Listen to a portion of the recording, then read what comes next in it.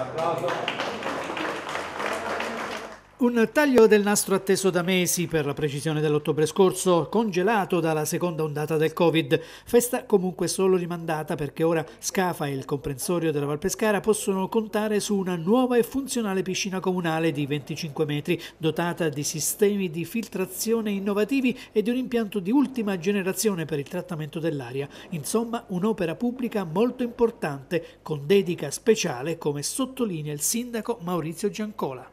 Scafa finalmente una bellissima struttura dove i ragazzini potranno fare attività natatoria, ma è anche stata un'occasione per intitolare l'intero centro al nostro compianto massimo sportivo cittadino Mario Ottonto Donati. E poi un cenno di ricordo a un nostro caro amico che ha vissuto le idee e i progetti di questo circolo. Quindi un bella, una bella soddisfazione. È una struttura che noi mettiamo a disposizione non solo dei cittadini di Scafa ma anche dei cittadini, dei residenti dell'intero comprensorio.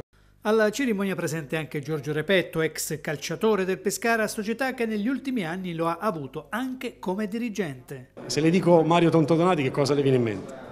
Intanto una grandissima persona, eh, modestissimo, umile, eh, appassionato, gentilissimo e ho un grande rimorso eh, che noi 40 anni fa onestamente non sapevamo la sua storia. Io l'ho conosciuta dopo e ho sempre avuto questo rimorso di, non averlo, di aver avuto questo mito davanti senza sapere quale giocatore fosse stato. Perché Mario è stato non solo giocatore ma anche allenatore del Pescara, responsabile del settore giovanile, una vita nel Pescara.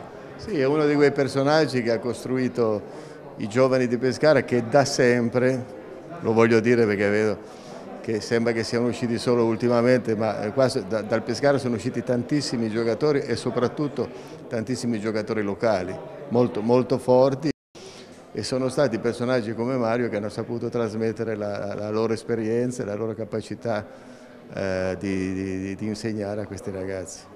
La piscina, costata circa 780.000 euro, è stata costruita grazie ai finanziamenti di Comune, Regione e Circolo Freetime che gestirà l'impianto in convenzione per 20 anni. Sentiamo il Presidente del Consiglio regionale, Lorenzo Sospiri. Eh, per me è una doppia soddisfazione, uno aver eh, eh, convinto la maggioranza precedente ad investire su questo impianto sportivo, la seconda essere riuscito a vederlo realizzato, è molto bello, particolarmente funzionale, una grande risorsa, tutto a norma Covid, cosa che per le piscine non è è usuale ritengo che sia un fiore all'occhiello per tutta la provincia di Pescara, in particolare per la Val Pescara.